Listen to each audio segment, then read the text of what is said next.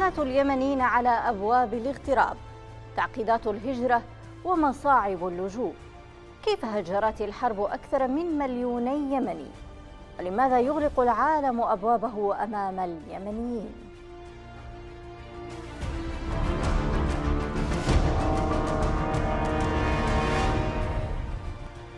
أهلا بكم. يعيش اليمنيون في الداخل ظروفا إنسانية مأساوية جراء الحرب. أما من خرج من البلد فيبدو أن عليه أن يحمل نصيبه من المأساة أينما حل وارتحل. مئات الآلاف من اليمنيين يقيمون في القاهرة وماليزيا وتركيا والسودان والأردن والصومال وغيرها من الدول التي استطاع اليمني الوصول إليها. يعيش معظم هؤلاء ظروفا إنسانية واقتصادية صعبة في الوقت الذي لا تزال مفوضية اللاجئين التابعة للأمم المتحدة لم تصنف اليمنيين كلاجئين مستحقين للجوء القانوني في الدول الموقعة على اتفاقية اللاجئين غير ذلك أغلقت الدول العربية ودول الخليج تحديدا أبوابها أمام اليمنيين رغم الظروف التي يعيشونها جراء الحرب والتي كانوا جزءا منها بشكل أو بآخر فأين يذهب اليمني إذن؟ عرفته يمنيا في تلفته خوف وفي عينيه تاريخ من الرمد. هكذا وصف البردوني مأساة اليمنيين في المهجر قبل عقود فماذا عساه أن يقول اليوم لو رأى اليمنيين على أبواب الدول يستميتون من أجل الحياة؟ تقرير أممي صدر نهاية العام الماضي قال إن الحرب في اليمن شردت أكثر من مليوني يمني داخليا وخارجيا. وبالطبع فإن العدد قد تزايد منذ عام. عشرات الآلاف من المواطنين خرجوا من اليمن بحثا عن بلد آمن للعيش. لكن الجواز اليمني تغلق أمامه كل الأبواب وتصنيفه يعد من أدنى الجوازات على مستوى العالم. أنت يمني إذا فأنت غير مرحب بك في معظم البلدان. وفي أحسن الأحوال توضع أمامك سلسلة من التعقيدات والإجراءات الصعبة لم يقتل من اليمنيين بعد بالقدر الذي يقنع المجتمع الدولي بمأساة هذا الشعب.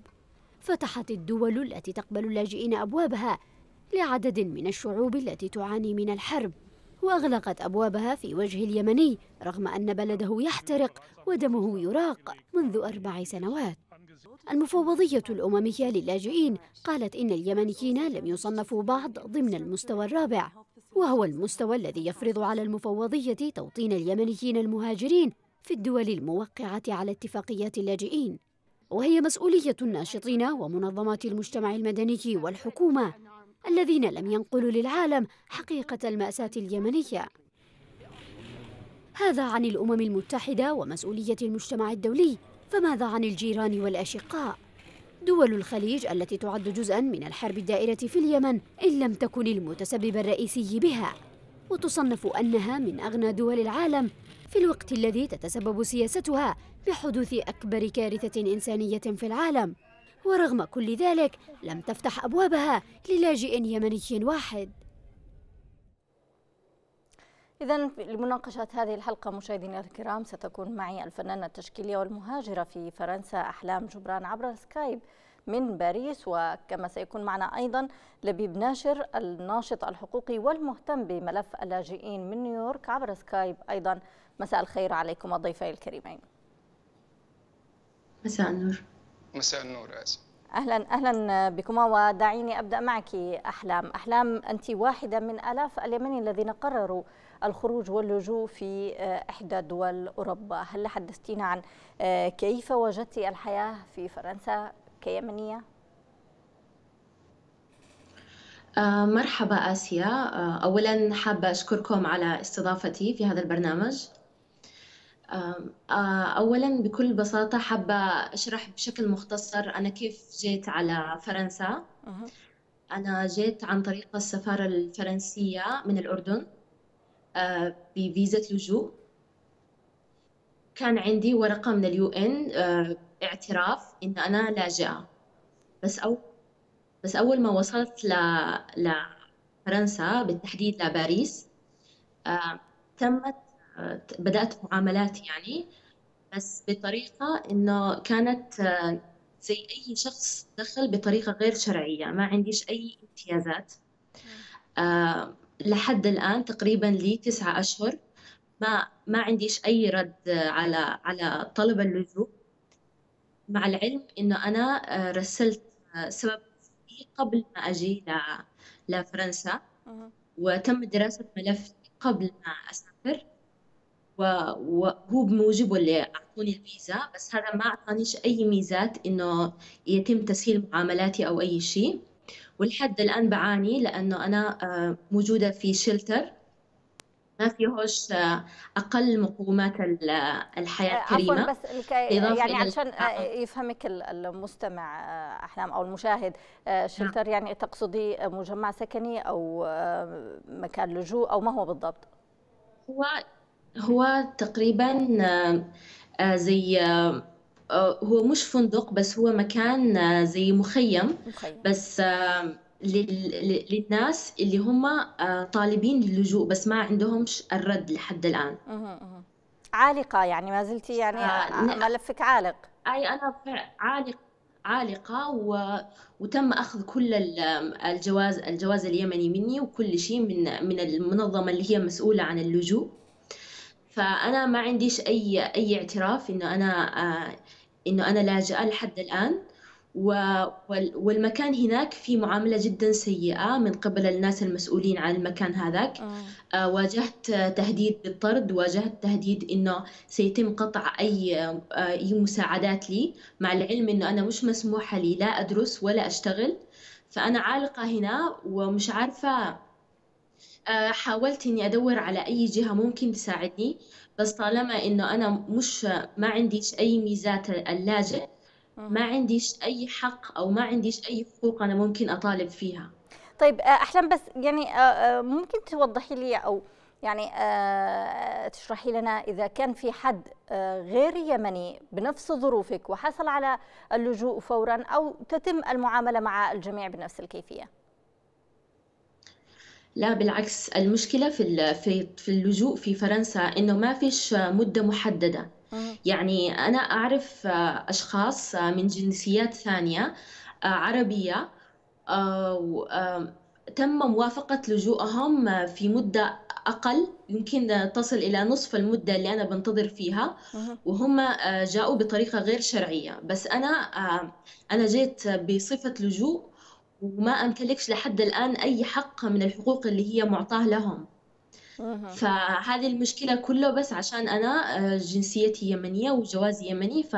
فهذا خلى الموضوع آه، خلى موضوع المعاملات على ملفي آه، تتأجل. فما عنديش أي امتيازات ممكن يحصل عليها أي لاجئ ثاني من أي جنسية عربية في نعم. في فرنسا. اسمحي لنا احلم ان نشرك أيضا الأستاذ نبيل آه، ناشر. آه، أستاذ نبيل آه، يعني كونك مهتم بملف المغتربين يعني مشكلة الجواز اليمني التي تتحدث عنها أحلام والتي ما زالت عالقه بسببها رغم منحها تأشيرة لجوء يعني فرنسا تم يعني قبلتها بأن تكون لاجئة ومع ذلك لم تمنح بسبب هذا الجواز. يعني لا الجواز يمنحك فرصة للسفر ولا يمنحك حتى فرصة للجوء آه، يعني كونك مهتم بهذا الملف ما هي الإشكالية من وجهة نظرك؟ السلام عليكم ورحمة الله وبركاته. أولا وشكرا جديدة على الإضافة مرة أخرى. وأرحب بالضيفة الكريمة أحلام. أنا كنت سمعت حكايتها طبعا من قبل آه، من قبل بعض الناشطات المهتمات في الشأن العام في شأن اللاجئين بشكل خاص. هو آه، الحقيقة بأنه لم يعد لا يكون لجواز المواطن أو طالب اللجوء أي قيمة بعد أن يطلب اللجوء. يصبح خاضع تحت آه، نعم يصبح خاضع لاتفاقيات لبنود الاتفاقيات الدولية التي هي الاتفاقية الدولية لعام 51 وبروتوكول 67 آه، أنا طبعا اللي سمعته من الأخت أحلام هذا يؤكد أن فرنسا وهي من أوائل الموقعين على اتفاقية 1951 ومن أوائل الموقعين على آه، بروتوكول 67 تخالف بتصرفاتها أو بالسلوك الذي تلقاه الآن الأخت الأخت احلام في فرنسا تخالف تماما بنود الاتفاقيه وبنود البروتوكول. آه، البند رقم اثنين والبند رقم أربعة والبند رقم رقم سبعة واضحين جدا في الاتفاقيه وفي البروتوكول ينص على أنه يجب أن يتم حماية طالب اللجوء يتم منحه رخصة عمل يجب عدم مطالبته بأي ضرائب زيادة عن بقية المواطنين ويجب التعامل معه بشكل استثنائي في جانب الحماية. يعني يجب إعطائه حماية أكثر من المواطنين بينما يجب إعطائه حقوق المواطنين تماما. فما تتعرض له الآن الاخت احلام هذا شيء يعني مسيء جدا. أيضا من ضمن بنود البروتوكول هو أن يسمح لطالب اللجوء الوصول إلى المحامين وإلى المحاكم وأنا أقترح عليك أن تتواصل مع من في داخل باريس للمطالبة لمطالبة الحكومة الفرنسية بتطبيق بنود البروتوكول بروتوكول 67 وحمايتها من التعسف الذي تجده الآن في في داخل دار اللجوء الذي هي فيه. نعم الإشكالية أستاذ لبيب يعني هي غير أنها حاملة للجواز اليمني والتي يفترض أن تعامل كلاجئة مثلها مثل من يحق له اللجوء. يعني إلى الآن لم يتم تحديد اليمنيين الذين يعني خرجوا جراء ظروف الحرب كلاجئين. لم يتم اعتراف المفوضية السامية لحقوق اللاجئين بهم كلاجئين حتى تستطيع الدول فتح أبوابها لها. يعني نعلم جميعا مدى التعقيدات التي تنال اليمني في الحصول على فيزا لدولة عربية ليس فقط لدولة أوروبية. لماذا برأيك؟ في 2016 كنت حاضرا في واشنطن في البنك الدولي في مؤتمر حول التنمية والهجرة. وتحدثنا شخصيا مع رئيسة المفوضية الساميه للاجئين حول الأسباب الذي لا يمنح فيها اللاجئ اليمني الموجود في داخل مصر في داخل مصر والأردن وماليزيا وبقية الدول إثيوبيا أيضا جيبوتي. لماذا لا يسمح أو لا يتم إعادة توطينهم؟ مثل بقية اللاجئين القادمين من سوريا والقادمين من العراق. وتفاجأنا بأن الأزمة اليمنية ليست في المستوى الذي يتطلب فتح باب إعادة توطين. الذي اكتشفناه مؤخرا أختي الكريمة بأن الموضوع هو ليس بنود واتفاقيات وبروتوكولات الموضوع يحسب سياسيا وأمنيا. الموضوع يحتاج إلى مؤسسات من منظمات المجتمع المدني ويحتاج إلى المؤسسات الحكومية في الدول التي يتواجد فيها النازحين اليمنيين. للضغط على كاتب المفوضيات. في مؤتمر التنمية والهجرة الذي حضرناه استعرضوا معلومات عن جميع أو من جميع الدول عن جميع اللاجئين من جميع الدول في العالم إلا اليمن. لم يكن هناك أي معلومات وعندما سألناهم لماذا قالوا بكل بساطة ليس لدينا أي مركز في داخل اليمن أو خارجه يزودنا بالمعلومات عن النازحين أو طالبين اللجوء. آه. تصوري العام الماضي عام 2017 من من جاءت بها من الأمم المتحدة إلى أمريكا من طالبين اللجوء من اليمنيين 17 شخص. وفي 2016 15 شخص من أعداد بالملايين خارج اليمن يطالبون باللجوء. تم استخدام 15 شخص إلى أمريكا و17 شخص في عام 2017 نعم. فالعملية هي فقط محسوبة سياسيا وامنيا لا أكثر. يعني هناك قصور من قبل منظمات المجتمع المدني وأيضا من قبل الحكومة في توضيح الصورة أليس كذلك؟ بالتأكيد نعم. بالتأكيد اذا اسمح لي أن أنقل يعني ما تحدثت به عن الإشكالية التي واجهت أحلام لأحلام أحلام. هل حاولت التواصل بمحامين التواصل ب يعني محاكم لتوضيح الظلم الذي وقع عليك والمعاملة السيئة التي تنالينها في الملجأ الذي تقيمين فيه؟ نعم طبعا أنا تواصلت لحد الآن مع مع مجموعة كبيرة من محاميين وهم مختصين كمان بشؤون اللاجئين. كان ردة فعلهم جدا صارمة بالنسبة لي إنه أنا لما وضحت لهم ظروف معيشتي وظروف كمان الأسباب اللي أنا بعاني منها بسبب التصرف السيء اللي اللي بيتم التعامل معي فيه وكيف كيف كيف بحاول إنه أنا أكون عنصر فعال في هذا المجتمع بحاول إني أعمل معارض بحاول إني أسوي شيء. بس كل اللي أتلقيته هنا هو مجرد تعامل سيء وعنصرية. وبالإضافة إلى إلى ال إلى ال إلى صعوبة المعاملات اللي أنا بمشي فيها. وكيف كيف ما فيش أي ما فيش أي امتيازات أنا بلاقيها. فكان الرد إنه هذا شيء طبيعي لأنه لأنه أنا وضعي كيمنية مختلف عن وضع الجنسيات الثانية. ووضع اللجوء هنا في فرنسا هو صعب. فأنا لازم آه، يعني آه، أتقبل هذا الوضع. وأنا مش عارفة كيف حتقبله يعني لأنه الإنسان اليمني آه، لما قرر إنه يخوض هذه التجربة اللي هي خطرة بالسفر وبالترحيل والطريقة هذه الصعبة اللي إحنا وصلنا فيها لفرنسا. وأخيرا نحن نتوقع إنه حنعيش بكرامة وحيتم تقديرنا كإنسان أولا. ولما فعلا نكتشف إنه هنا كمان يتم تعاملنا كلا شيء لأنه نحن ما عندناش الإقامة أو ما عندناش الموافقة على طلب اللجوء. فكأننا بنرجع على نفس النقطة هي يعني إنه الطالب اللجوء في الخارج هو هو نفس معاناة الشخص اللي موجود داخل اليمن. نعم إذن... إنه هو مش حاسس إنه فعلا يتم تعامله كإنسان يعني. نعم.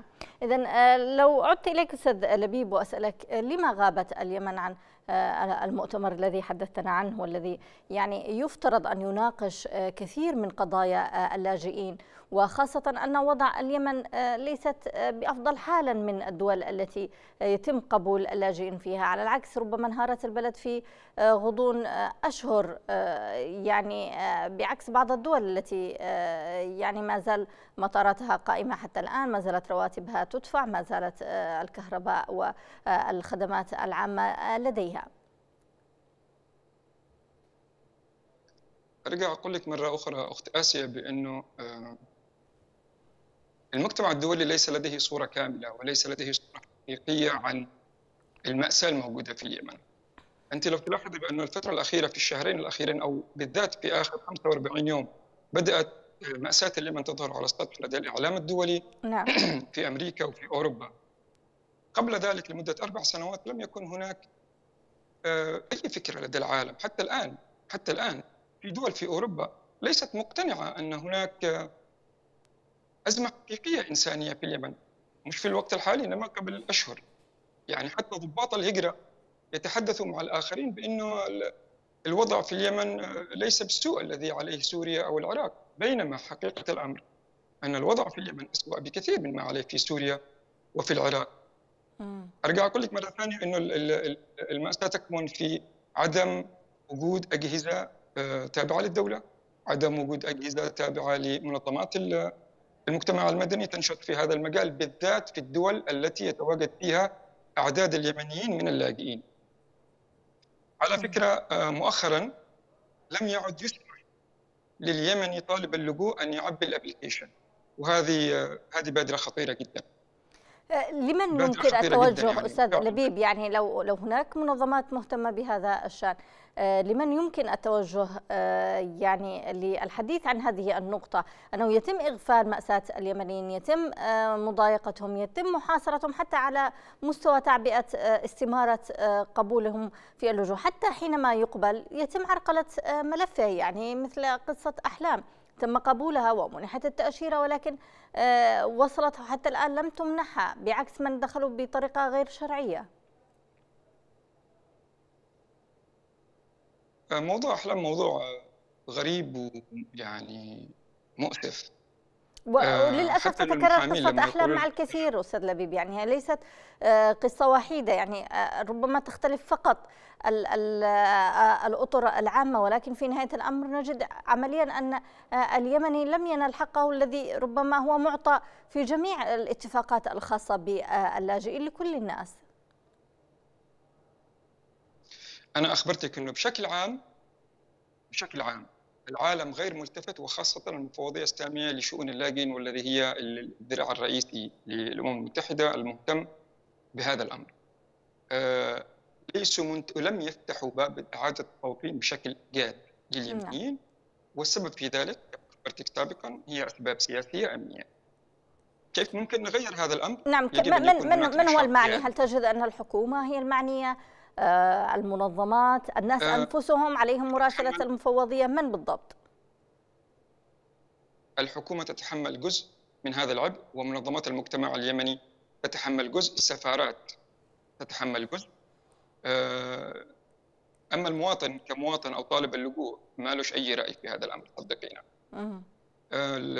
يجب أن يكون هناك ضغط يجب أن يكون هناك مراكز هذه المعلومات يجب أن يكون هناك ليس فقط في الدول التي فيها اعداد اللاجئين ولكن أيضا في الدول الذي في أوروبا يجب أن يكون هناك نشاط في هذا المجال في الولايات المتحدة الأمريكية وفي كندا. أنا هنا أستغل الفرصة لشكر الجمعية الوطنية اليمنيه الأمريكية برئاسة الدكتور عبد الحكيم في ولاية ميشيغان. هي إحدى أهم المنظمات منظمات المجتمع اليمني اليمني الأمريكية التي تتابع بشكل جاد هذا الموضوع. يعني فعلا أنا أحييه وأحيي فريقه وأحيي الجهود الذي يبذلها في هذا الصدد. نعم. مرة أخرى وأخيرة أقول هذا بأنه يجب أن يكون هناك ضغط جاد وتوفير معلومات كافية للمنظمات الدولية ومعالجة الأمر هذا سياسيا قبل كل شيء. اذا أعود إليك أحلام، أحلام هل حاولت التواصل مع اليو إن بحكم أنها هي من أعادت توزيعك ليتم توطينك من جديد في فرنسا وبأنك ذاتا مسجلة لديها كلاجئة هل حاولت التواصل معها أم أن موضوعك ينتهي مجرد أن تمنحي تأشيرة بلد ما؟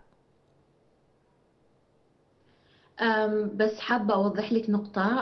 أنا أنا عندي اعتراف من اليو إن كلاجئة. بس هي ما أعادت توطيني لأي بلد. أنا أنا رحت للسفارة الفرنسية وقدمت طلب لجوئي وقدمت القصة اللي اللي خلتني أطلب اللجوء. وقدمت إثبات من اليو إن إنه أنا معترف فيني كلاجئة. تم إرسال الملف من قبل السفارة الفرنسية. للمنظمة اللي هي مسؤولة عن اللجوء في فرنسا اسمها أوفرا.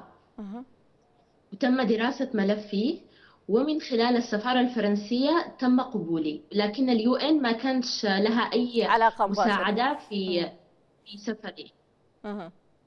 طيب آه يعني آه. تفضلي. نعم. نعم نعم. اسمعي. إذا برأيك يعني أضف إلى عدم الاعتراف باللاجئ حين يصل أحلام كإشكالية كبرى ما هي أبرز المشاكل التي يعاني منها اليمنيين الذين قرروا اللجوء برأيك؟ اولا اليمنيين من أول ما يقرروا إنهم يسافروا من من من اليمن أول شيء بيعانوا من الطريق السفر اللي هو نحن يعني مش مسموح لنا أساسا نسافر إلا عن طريق دولتين اللي هم الأردن أو مصر. فأنا كان فأنا كان يعني اختياري للأردن. فلما سافرت هناك كنت كأي يمني هناك بيعاني من من عدم وجود أي امتيازات. ما فيش ما مش مسموح لنا بالعمل مش مسموح لنا بالدراسة. وما فيش أي فرص إنه نحن نلاقي إقامة أو نجلس بطريقة شرعية في البلد. ففي هذه اللحظة أنا لما قررت إني أطلب لجوء لفرنسا أنا تم طردي من من الأردن لأنه كنت كنت جالسة هناك بطريقة غير شرعية لأنه كان المفروض إني يرجعوني لليمن. فلما جيت على فرنسا برضه بدأت معاناة فصل جديد من المعاناة. إنه هنا نحن بنواجه أول شيء تهميش كيمنيين. مهما كان نحن عندنا أسباب ممكن تكون أقوى مهما كان عندنا نحن إثباتات إنه فعلا نحن كنا بنعاني من من اضطهاد كنا بنعاني من مشاكل في بلدنا. بس ما فيش أي أي امتيازات ممكن نلاقيها هنا. آه ثاني شيء تأخر المعاملات هذه بيخلي بيخلي اليمنيين في حالة آه إحباط. آه لأنه بيحس إنه محاصر يعني لا لا يقدر إنه يسوي شيء للبلد اللي هو عايش فيها عشان يثبت إنه هو فعلا يحاول إنه يكون عنصر فعال في هذا المجتمع. ما عندوش أي خيارات. خياراته جدا محدودة. آه فهو عليه بس إنه ينتظر ما يعرفش لمتى ممكن ينتظر. وهل فعلا أنا الآن في حالتي مثلا أنا الآن لي عشر أشهر بنتظر في احتمالية إنه يتم رفضي وفي احتمالية إنه يتم قبولي. يعني ما عنديش حتى فكرة عن كيف ملفي بيمشي. فأنا ممكن في أي لحظة يتم رفضي وبهذا أنا أكون يعني خسرت آخر ملاذ لي آه، وما عنديش أي مكان ثاني أروحه. نفس الوقت مشاكل السكن لليمنيين والتعامل كمان من الناس المسؤولين عن عن هذه البيوت اللي أو المخيمات اللي بيسكنوا فيها الطالبين اللجوء. آه، معاملتهم مع اليمنيين ومعاملتهم آه، خاصة مع اليمنيين لأنه هذه تجربة أنا عشتها. آه، في في عنصرية في كمان ما فيش محاولة إنه يتم التعامل معه كلاجئ هو جاي من حرب هو جاي من ظروف سيئة لازم يكون في تفهم وضعه لازم يكون في اهتمام ما فيش أي أي شيء ممكن يوفر له من ناحية إنه لا سكن لا سكن جيد آه، ولا شيء يعني ما فيش أي أي أي امتيازات غير التعامل. يعني أنا حتى لما بحاول إني أتفاهم مع مديرة المركز قامت بطردي قدام كل الموظفين وبطريقة جدا سيئة ورفضت إنه تتكلم معي باللغة الإنجليزية فقط لأني أنا لغتي الفرنسية ليست جيدة لحد الآن. على الرغم من إني أنا بحاول إني أدرس آه، بحاول إني أسوي آه، نشاطات إلا إنه أنا مش مسموح لي أسوي شيء طالما أنا ما عنديش آه، موافقة على نعم. فالموضوع هنا إن الموضوع معقد ما فيش أي شيء واضح ما فيش أي شيء يخلي يخلي الشخص يكون عنده أمل للمستقبل يكون عنده خطة واضحة متى حتنتهي معاملاته إيش ممكن يحصل كل شيء مبهم هنا. ف أنا فعلا عالقة وأكيد في كثير يمنيين نفس وضعي عالقين وفي كثير يمنيين أساسا يعني تم طردهم من فترة طويلة. بسبب هذه التصرفات العنصرية من قبل الناس المسؤولين عن هذه الأماكن. فهل في منظمات؟ أنا حاولت إني أبحث عن منظمات حاولت أبحث عن جهات بس ما فيش ولا جهة بتسمع ما فيش ولا جهة يعني مستعدة إنها تسمع لقضيتي مستعدة إنها تساعدني ما فيش ولا جهة. في جهات ممكن تدعم السوريين في جهات بس ما فيش جهات تدعم اليمنيين لأنه مش معترف فيهم زي ما قال الأخ آه مش معترف فيهم أساسا. فهي هذه المشكلة. نعم. إذا عودة إليك أستاذ آه، لبيب. أستاذ لبيب يعني هذه آه، معاناة اليمنيين في الدول آه، الأوروبية وربما الأمريكية وغيرها من الدول التي تتيح فرصة للجوء ماذا عن الدول العربية وخاصة دول الجوار والتي تعد يعني مشاركة في هذه الحرب إلا أنها هي كانت موصدة أبوابها ذاتا وزادت آه، إحكام هذا الإغلاق وربما آه، حتى شددت بعض الدول الشروط على إقامة اليمنيين ورحلت الكثير آه، منهم. تحت أي يعني مسؤولية يمكن أن نتحدث عن ذلك؟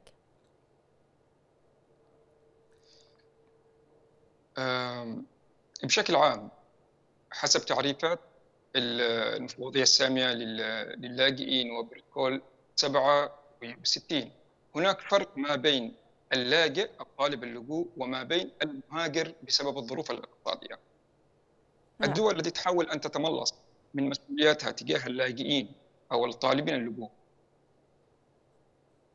أضافت هذا البند أو أضافت هذا التعريف لكي تعمل فارق في التعامل مع طالبين اللجوء نعم.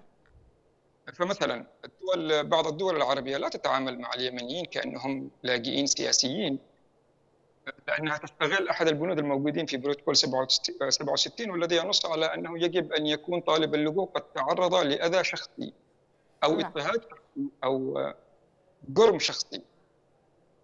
بينما طالب الهجرة الاقتصادية هذا يمكن يتعامل معه بطريقة أخرى ويحق للدولة ان أن تقبل طلبه أو لا تقبل طلبه. نعم. الدول التي وقعت على البروتوكول وقعت الاتفاقيه هي ملزمة ملزمة وهذا الكلام أيضا أنا أريد الأخت أحلام أن تركز عليه. ليس من المهم أن يدخل طالب اللجوء إلى البلد بطريقة شرعية أو غير شرعية لأنه في كلتا الحالتين أي دولة موقعة على بروتوكول 67 هي ملزمة باستقباله واعطائه كافة حقوقه. يمنع على كل الدول التي موقعة على اتفاقية 61 67 وبروتوكول 67 أن تتعامل بتمييز بناء على الجنسية. أو الجواز. آه، فيما يخص الدول العربية عودة إلى سؤالك أختي زي ما كلمت الدول العربية طبعا أقفلت حدودها علينا نعم مثل دولة الامارات مثل دولة عمان أقفلت حدودها علينا لم الأمم المتحدة لم تعيد التوطين في أي دولة من الدول وبالتالي هذا باب أقفل علينا الحدود أقفلت علينا من قبل هذه الدول وبالتالي إحنا إحنا قادرين أو اليمين اللي هم قادرين يدخلوا لا بطريقة شرعية ولا بطريقة غير شرعية فهم تمرسوا بطريقة قانونية من أن يمنحوا المواطن اليمني حق اللجوء لأنه ليس موجودا على تراب تلك الدول. أما دولة مثل السعودية مثلا فهي لا تتعامل مع اليمنيين غالبا كطالبي اللجوء السياسي وإنما تتعامل مع اليمنيين كمهاجرين اقتصاديين. وبالتالي هي لديها الحق أن تعطيهم أو لا تعطيهم بينما يجب بناء على بروتوكول 67 أنه أي حد يصل إلى الأرض السعودية ويطالب باللجوء السياسي بناء على أذى شخصي تعرض إليه أو اضطهاد شخصي تعرض إليه في موطنه السعودية ملزمة على هذا البروتوكول أن تقبل بمنحه اللجوء السياسي. نعم. إذا آه، شكرا جزيلا لكما ضيفي العزيزين آه، لبيب ناشر الناشط الحقوقي والمهتم بملف اللاجئين. كنت معنا عبر سكايب من نيويورك. وشكرا لك أيضا أحلام آه، جبران الفنانة التشكيلية والمهاجرة في فرنسا. كنت معنا أيضا عبر سكايب من باريس. ونتمنى أن يتم حل مشكلتك أحلام. ومشكلة جميع اليمنيين العالقين وينضم معنا عبر سكايب أيضا الأستاذ إبراهيم القعطبي المحلل السياسي من نيويورك. مساء الخير أستاذ إبراهيم. أهلا وسهلا مساء النور. إذا أستاذ إبراهيم نتحدث عن ملف آه، اللاجئين وربما كانت قرارات ترامب بالنسبة آه، لأمريكا هي العقدة الأولى وربما الأكبر آه، في طريق اليمنيين الذين يريدون الذهاب إلى أمريكا والتي ربما كان لديهم أيضا فرصة للدخول إلى أمريكا ومنعوا من ذلك ما هي آخر تطورات هذه الإشكالية أمام اليمنيين؟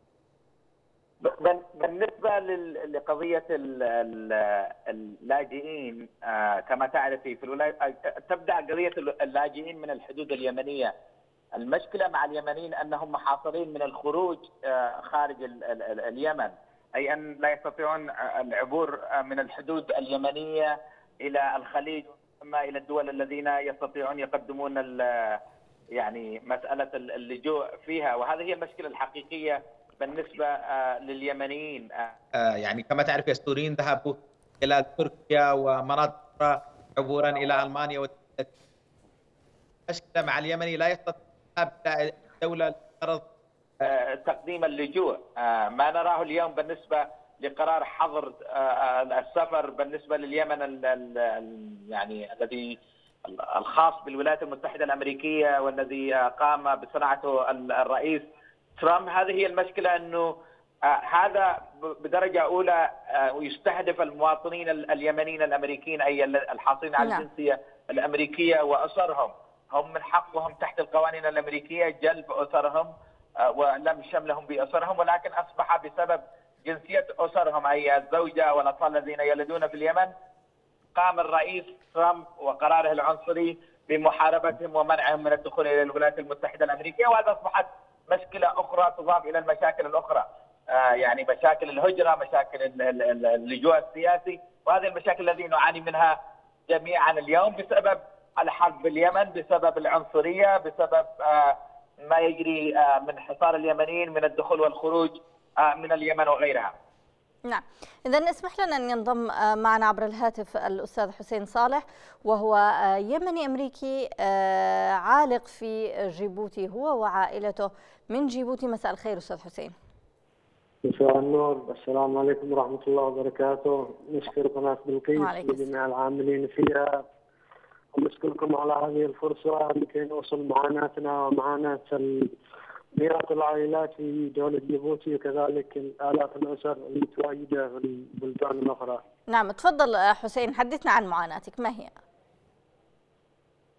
أنا مواطن أمريكي ولدي ثلاثة أولاد جنسية أمريكية مع ذلك بسبب القرار العنصري الظالم تم رفض منح زوجتي الفيزا إلى أمريكا. م. آه، رغم أنه آه، كان لدينا سند استلام فيزا في أكتوبر 18 2017 تم الموافقة على الفيزا وكنا منتظرين آه، طباعه الفيزا. بعد تثبيت القرار من المحكمة العليا في أمريكا تم رفض جميع الفيز حتى التي تم الموافقة عليها. نعم. ومازلنا الآن متواجدين في جيبوتي ونعاني كثيرا حيث أن الغلاء في جيبوتي غالي جدا. كم كم لك كم كم لكم في جيبوتي يا حسين؟ لنا أكثر من سنة وثلاثة أشهر. ما فكرتمش ترجعوا لليمن على بال ما تضبط أموركم وأمور الفيزا؟ لا نستطيع الرجوع آه، ليس هناك مدارس للأطفال آه، لا رعاية صحية زي أول لا أمان لا. نعم. آه، معنا أصبحت أكثر وأكثر. أصبحنا عالقين في جيبوتي يعني 4000 دولار في الشهر لا تكفي الأسرة الصغيرة. نعم. كي تعيش معيشة بسيطة في جيبوتي. كم كم عددكم أنتم العالقين في جيبوتي؟ هل لديك اطلاع على هذا الأمر؟ ليس لدي العدد بالضبط بس هناك في الأول كان هناك آلاف الأسر وأكثرها رجعت إلى اليمن بسبب الغلاء لا زال هنا مئات الأسر عالقة في منهم أكثر من ثلاث سنوات هنا منذ بداية الحرب. نعم. معنا كبيرة جدا. إذا في جيبوتي لأن الغلاء هنا شديد والرعاية الصحية بسيطة جدا و... نعم. الحر الحر هنا كثير.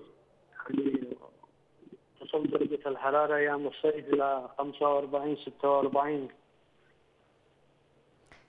نعم إذا آه، اتضحت مشكلتك أخ حسين. شكرا جزيلا لك. حسين صالح اليمني الأمريكي العالق في جيبوتي هو كنت معنا عبر الهاتف من هناك. عودة إليك أستاذ إبراهيم.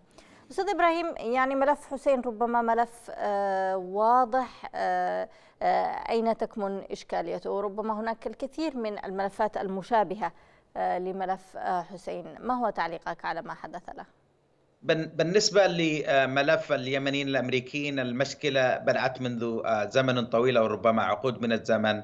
السفارة الأمريكية في اليمن لم تكن تبث في قضايا الأسر التي تطلب لم شملها بعوائلها. أي نتحدث هنا عن عن اليمني الأمريكي الذي من حقه تحت القانون الأمريكي أن يجلب عائلته إلى الولايات المتحدة الأمريكية. كانت السفارة الأمريكية في اليمن لا يعني تقوم بإجراء بكل الإجراءات التي تسهل أو تساعد أو تقوم بالإجراءات الحقيقية من أجل استكمال الإجراءات والذهاب إلى الولايات المتحدة الأمريكية. فكانت تتعذر بكثير من الأشياء من ناحية الحماية الأمنية، الإرهاب وكثير من القضايا الأخرى. فكانت هناك الآلاف من القضايا، عندنا قضايا آباء قدموا لأبنائهم حوالي 15 سنة والإجراءات أحيانا يعني بناء على القانون الأمريكي بين ستة أشهر إلى سنة إلى أقل من ذلك وربما أقصى يعني مدى لأي قضية تأخذ سنتين لكن بالنسبة لليمنيين معظمهم نتحدث لماذا على لماذا برأيك أستاذ إبراهيم؟ يعني حتى في هذا الملف الذي يعد قانوني 100% يتم عرقلة اليمنيين. أين تكمن المشكلة؟ هي هي مشكلة متكاملة لديها أطراف عديدة، المشكلة الأولى تعتمد أيضا على أنه المهاجر اليمني الأمريكي الكثير منهم لا يعرف حقوقه تحت القانون الأمريكي، كان الآباء والأمهات يقدمون لأبنائهم وينتظرون الرد من من الوزارات المعنية.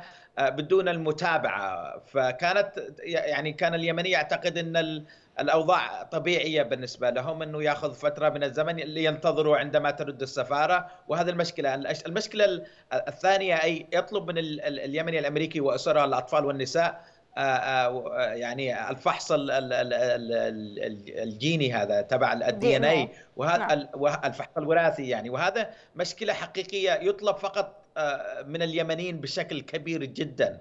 آه، ثانيا أيضا المعلومات في. في اليمن ضعيفة جدا. فالولايات المتحدة الأمريكية وزارة الخارجية الأمريكية تعتبر أي وثيقة من اليمن تعتبر وثيقة مزورة أو مزيفة إلى أن تثبت غير ذلك. هذا المشكلة الحقيقية. اليمن حتى لو عمدت من وزارة الخارجية حتى لو طبعا هناك قانون ولو تدخلي إلى صفحة وزارة الخارجية الأمريكية ربما اليمن الدولة الوحيدة أو آه، آه، من إحدى دولتين في العالم التي تصنفها الولايات المتحدة الأمريكية على أن كل وثائقها آه، يعني مزورة إلى أن تثبت عكس ذلك. وهذا مشكلة خطيرة وحقيقية. الحكومة اليمنية نفسها لم تعمل على إبعاد هذا الإشكالية الحقيقية التي يعاني منها اليمنيين ككل وليس فقط أسر اليمنيين الأمريكيين وإنما اليمنيين الذين مثلا الطلاب الذين يبحثون على فرص تعليم في الولايات المتحدة الأمريكية أو زيارة أو غير ذلك.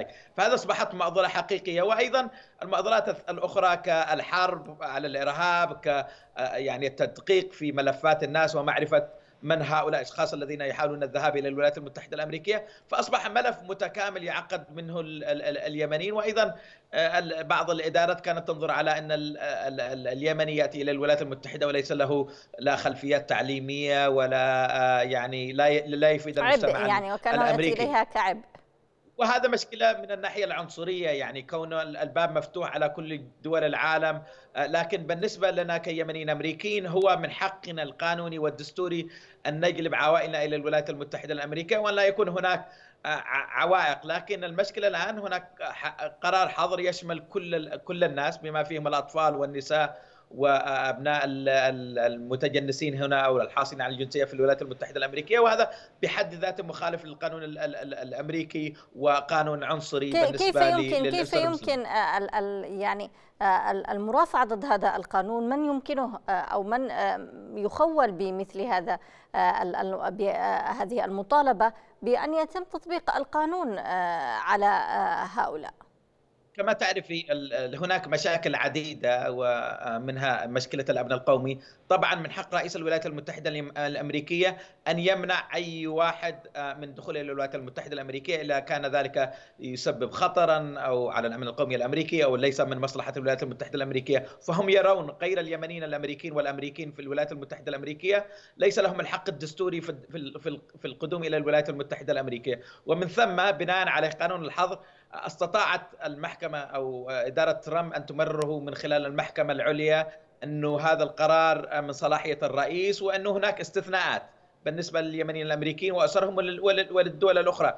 لكن المشكلة هنا لا يبثون في الاستثناءات. هناك مئات العالقين وحاصلين ربما تم إشعارهم أن لديهم استثناء لكن لا يبثوا في هذه القضايا وهذا عنصرية بحد ذاتها. المسألة هناك عدة قضايا مرفوعة في المحاكم الأمريكية. آه، هناك أيضا يجب على على الكونغرس الأمريكي ان ان ان أن يعني يقوم بالتشريع آه، آه، لنقض هذا القرار أو اسقاط القرار هذا الحظر من أجل أن يكون هناك أن يكون فرص المساواة داخل الولايات المتحدة أمام كل الأمريكيين الحاصلين على الجنسية الأمريكية وليس يعني فصيل دون آخر.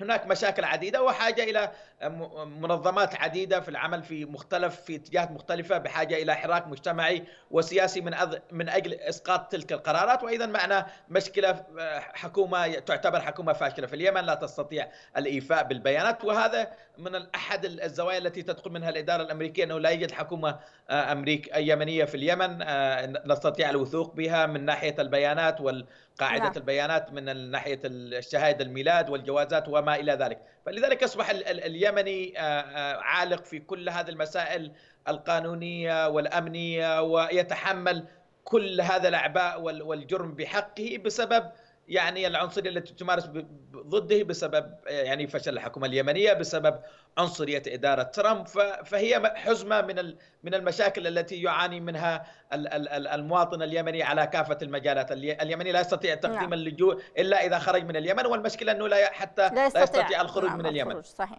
اذا شكرا جزيلا لك إبراهيم قاطبي المحلل السياسي كنت معنا عبر سكايب من نيويورك، الشكر لكم أيضا مشاهدينا الكرام لحسن متابعتكم. لن ألتقيكم في مساء يمني جديد. كونوا برعاية الله وأمنه.